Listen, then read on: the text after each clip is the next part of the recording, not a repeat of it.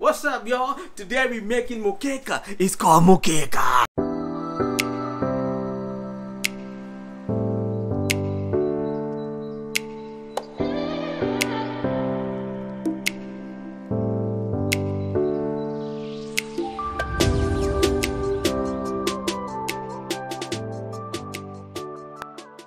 What's going on everybody? Today I'm going to be showing you how to make a Brazilian fish stew. It's also called moqueca. It's a very simple recipe. You can do it during the week and it fits all diets. So let's go. Okay, first things first, it's called moqueca, not moqueca, but um, yeah. So yeah, dice up half an onion, one whole red bell pepper, you know, um, some jalapenos, you know, you can put the seeds in. You know, I had some tenderonis at the house who can't handle the spice, so I had to take the seeds out. But, you know, if you want to put the seeds in, by all means, go ahead and put the seeds in. And then, yeah, basically, man, chop them up. And uh, that's my doggy right there. She's looking for treats. Cut you some garlic, because you're going to need that. Got some onions, some bell peppers, some jalapenos, some garlic. So let's go sauteing some onions with some olive oil.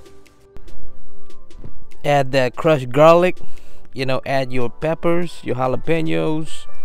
Make sure you season them with salt you know you got to pay the salt tax. Put some cumin in right there with some chili powder and some smoked paprika and some black pepper and some turmeric for a little bit of color so you know you're getting different type of peppers. I'm putting some oregano right there. So it's just you know the brazilian slash italian flavors coming out. You know definitely put salt to your taste. You know it's a uh, it's a little salt shaker so you know i had to keep shaking it. And uh, basically cook the spices. And after you cook the spices add some tomato paste. And cook the tomato paste with the spices and then add some coconut milk. And make sure you basically boil this for like five minutes before you add the fish in. There's the fish. I got some Chilean sea bass.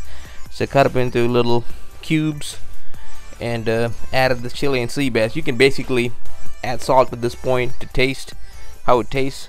And if it tastes great add the fish in because you know you don't want to add the fish when the sauce is undersalted. So you know add the fish in. You can put tilapia like I said any white fish any filleted fish is better. Don't put the fish with bones because that's gonna be a pain to pick out the bones. So always use filleted fish.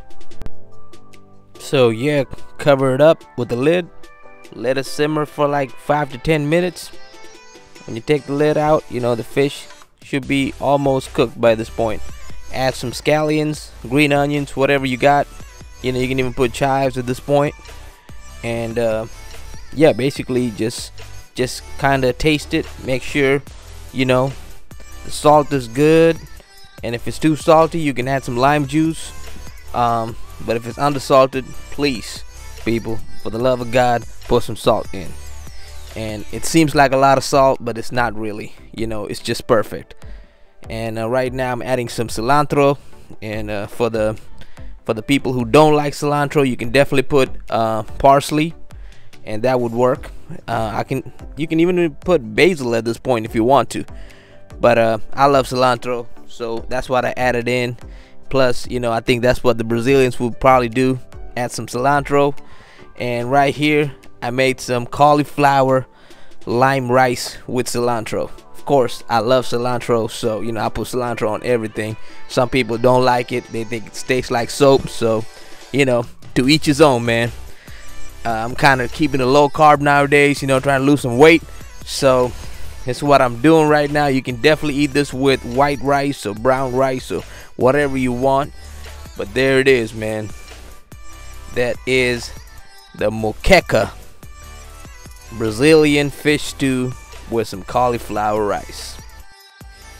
Alright guys, made the moqueca. I made some cauliflower uh, lime rice and let's taste it.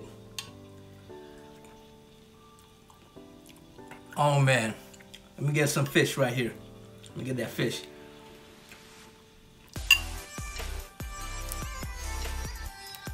Go make this guys. Very easy recipe.